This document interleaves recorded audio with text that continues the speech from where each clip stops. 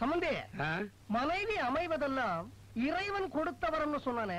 அவன் ஏனோ தானு சொல்லல. அனுபவிச்சு ரசிச்சு தான் சொல்லியிருக்கான். தும்பப்பூ மாதிரி இட்லி அளவான காரத்தோட அழகான தக்காளி சட்னி. கள்ளிப்பால் மாதிரி திக்கா ஸ்ட்ராங்கா காப்பி. சம்பந்தி வெத்தலை போட்டு போட்டு மரத்து போன என்னாக்குக்கே ருசி தெரியுதுன்னா பாத்துக்குங்களேன் கொடுத்து வச்சவர் சம்பந்தி நீங்க. சம்பந்திமா சத்துட்டீங்க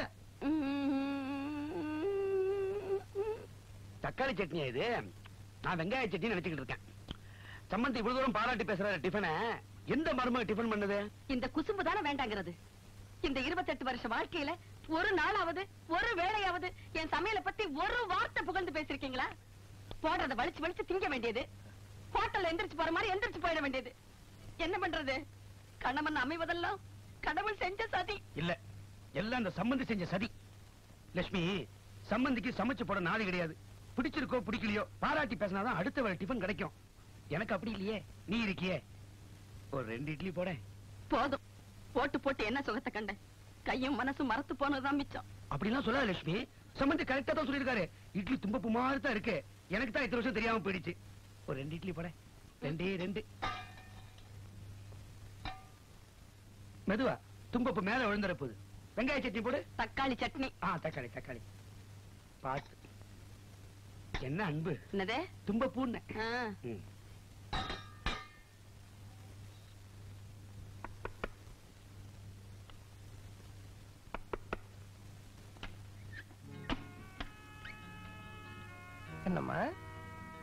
சௌக்கியமா? ஒன்னத்தம்மா சௌக்கியமான்னு கேட்டேன். என் மேல ஏதாவது கோமா கேட்ட கேள்விக்கு பதில் சொல்ல மாட்டியா? சௌக்கியமான்னு கேட்டேம்மா. நேர்ல பார்த்தா விசாரிக்கிறீங்க.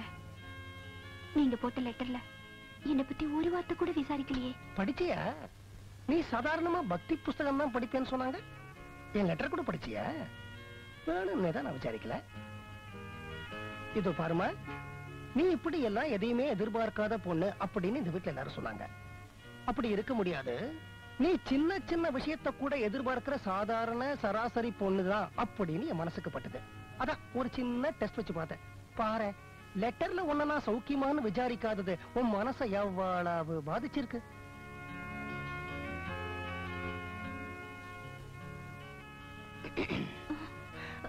இப்ப விசாரிக்கிறேம்மா. சௌக்கியமா? சௌக்கியம் மாமா. மாமா போன தடவை வார்த்தைக்கு வார்த்தை சார் சார்னு. இப்ப மாமாங்கிற நெருங்கித்தான் வரேன் போல இருக்கு. நான் உன்னை விசாரிச்சேனே. பதிலுக்கு நீ என்ன சௌக்கியமான்னு விசாரிக்க கூடாதா? சாரி மாமா. சௌக்கியமா?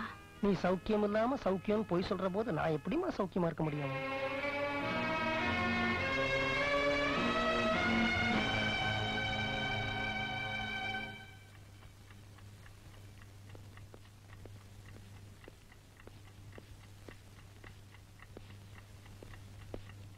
Absolutely no problem mister Sathyamoorthy உங்களுக்கு குழந்தை பிறக்கிறதுல எந்த விதமான பிரச்சனையும் இல்லை.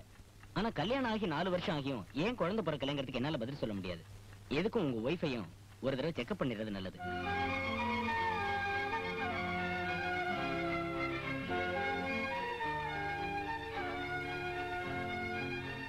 Durga! Sorry sir Durga! Durga! Durga. Durga. படிச்ச பொண்ணுல நீ ஒரு ஸ்கூல் டீச்சர் வர. ஒரு டாக்டர் முன்னாடி நாகரிகம் இல்லாம இப்படியா நடந்துக்கிறது? நீங்க செஞ்சது மட்டும் சரியா? சத்தப்படாத. நான் செஞ்சதுல என்ன தப்பு?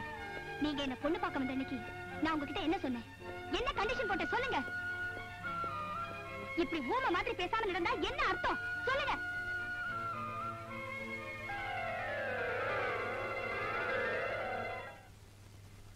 எனக்கு அப்பா கிடையாது. அம்மா உலகம் தெரியாதவங்க. நானு எங்க அம்மா வயசுக்கு வந்த ரெண்டு தங்கச்சிங்க. இந்த நாலு பேரும் என் டீச்சர் சம்பளத்துல தான் வயிறு வளர்க்கணும். என் தங்கச்சிங்களை கரையேற்றுற பொறுப்பு எனக்கு இருக்கு. சரி. கல்யாணம் ஆனதுக்கு அப்புறமும் நான் வேலைக்கு போவேன். சரி. சம்பள தேதி அன்னைக்கு சம்பள பணம் மொத்தத்தையும் எங்க அம்மா கிட்ட கொடுத்துட்டு தான் உங்க வீட்டுக்கே வருவேன். சரி. தங்கச்சிங்களை ஒருத்தன் கையில பிடிச்சு கொடுக்குற வரை நான் வேலையை விட மாட்டேன். சரி. அது வரைக்கும் நமக்கு குழந்தை பிறக்க கூடாது. அதுக்கு இதுக்கு என்ன சம்பந்தம்? எனக்குன்னு ஒரு குடும்பம் வந்துட்டா இந்த குடும்பத்தை கவனிக்க முடியாதே. ஓஹோ.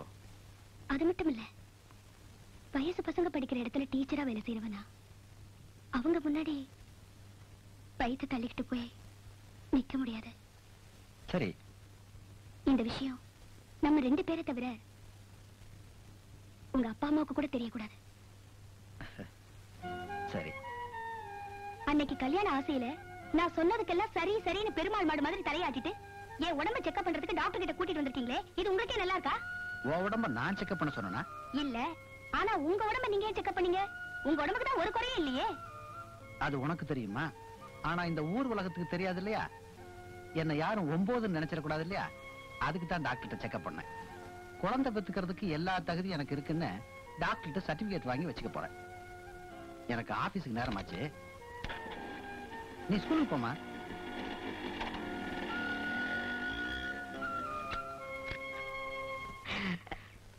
ஆ சரசு நான் வாழ்க்கையில ஒரே ஒரு தடவை தப்பு பண்ண இடம் இதுதான். நான் பீர் சாப்பிட்டது இங்கதான். ஏங்க இது காஷ்மீரா இல்ல கன்னியாகுமரியா? பெரிய சரித்திர புகழ் பெற்ற இடம். கூட்டிட்டு வந்துட்டீங்க. இங்கதான் எல்லாரும் ரெண்டு மணி நேரம் ஜாலியா சீட் விளையாடிட்டு இருந்தோம். அதுல ஒரு ஃப்ரெண்டு டேய் ஜாலியா எல்லாரும் தண்ணி அடிச்சா எப்படி இருக்கும்னு கேட்டான்.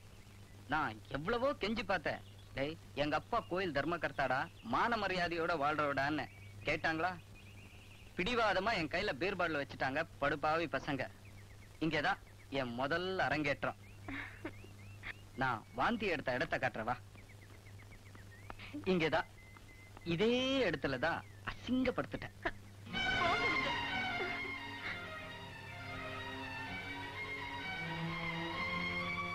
Excuse me sir Amir Mahal எங்க இருக்குன்னு சொல்ல முடியுமா? Amir Mahal sir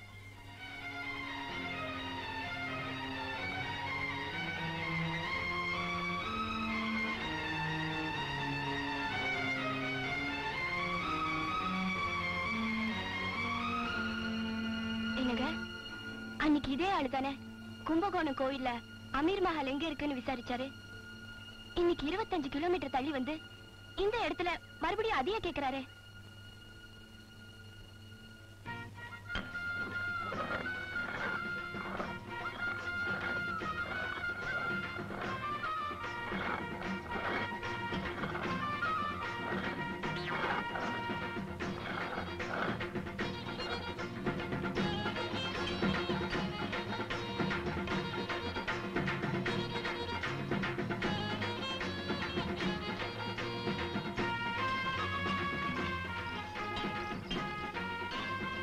master. Police வேலைக்கு சேரணும் ஆசைப்பட்டு உடம்பு தயார் பண்றதுக்காக இங்க வந்தேன். அது நடக்காது போல இருக்கு. நான் எங்கேயாவது குர்கா வேலைக்கு சேர்ந்துடுறேன். என்னை விட்டுருங்க மாஸ்டர். வரேன் சின்னம்மா.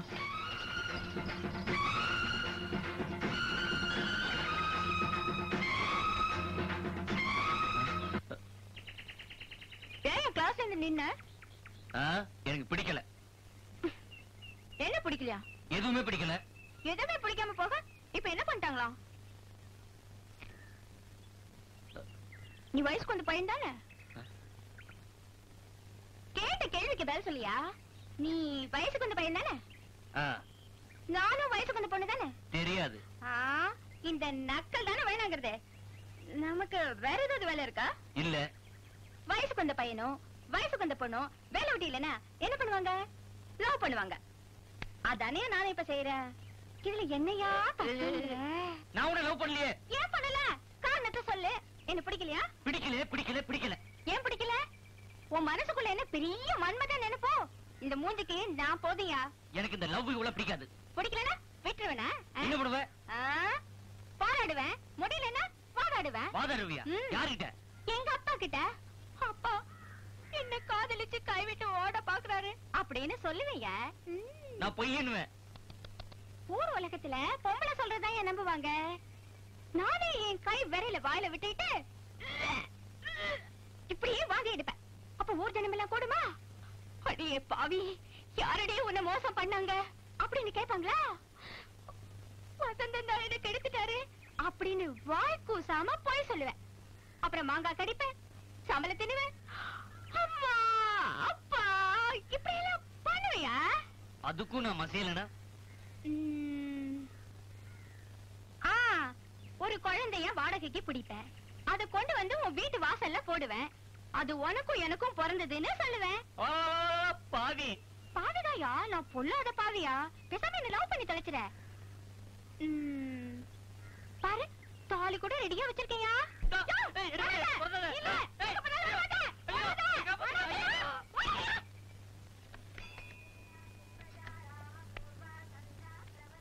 அடிக்கடி வந்துட்டு போங்க மாமோய். டேய் கும்பகோணத்துக்கு நான் என்ன மொத்தமாவா போறேன்?